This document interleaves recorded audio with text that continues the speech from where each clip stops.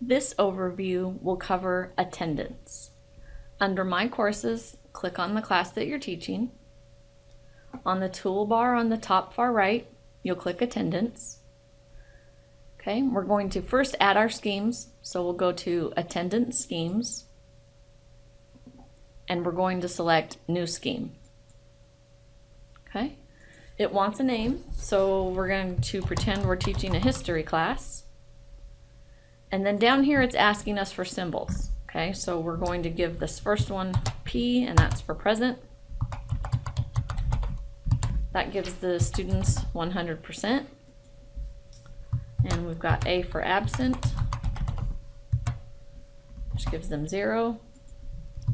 T is for tardy, gives them 80%. And you might notice here that we've only got three status lines and we've got one more topic, which is excused. Now the way the program is set up, we need to save what we've done so far before we can add a new status line. So we're going to, cl to click on save, okay, and it was created successfully. Now what we're going to do is add the number of status that we need, and we need one. Okay, we'll add status, and we'll put in excused.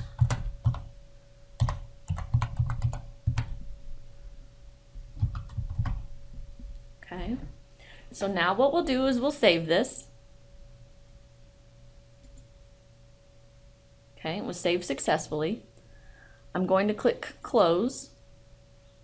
Okay, and then on the default scheme, I'm going to click set. And it's asking, are you sure you want to set history as the default scheme? I do, so I'm going to click on set. And there we have it. It was saved successfully.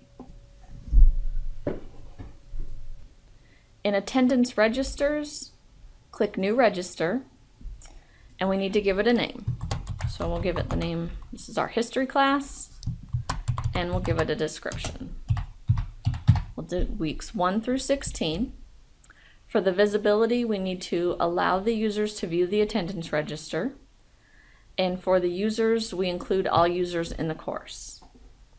Okay. The next section we come to is called sessions. And it has here what are sessions, and it will define it for us. So it says sessions are the components of an attendance register that defined one or more events to which the register applies. So this is where you're going to set up attendance for each of the classes that you teach. Okay. So what we'll do is we'll begin. We've got week one, and this is a Tuesday, Thursday class. So we've got Tuesday, and now we'll build Thursday.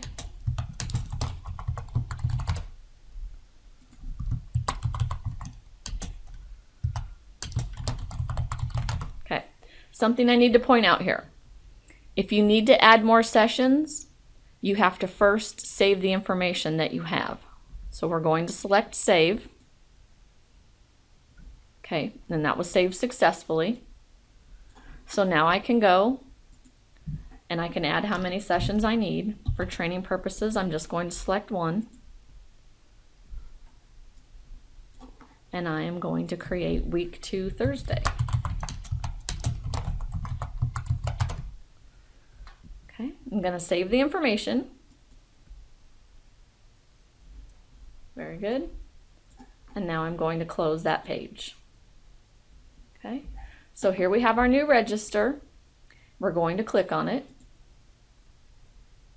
Okay, so now here's my attendance for week one for Tuesday. This will be our first course. And you'll click on the calendar. And you can see that we've got several things here we can do, and I'll go over them with you. You can view it by user or by sections. We're going to view it by user. Okay. You've got an area here where you can select all the rows. You can set statuses. And then you've also got an individual area for each person where you can set their status individually. A trick will show you that will make it faster to take your attendance is you simply click select all roles and then you go to set status. Okay. Under status, you're going to select P for present and you're going to save that. Now that of course shows everyone in your class as being present. But let's say that Kathy was tardy. We'll make her tardy.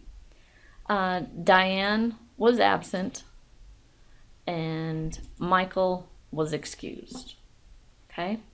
So now we've taken our attendance and we're going to save it.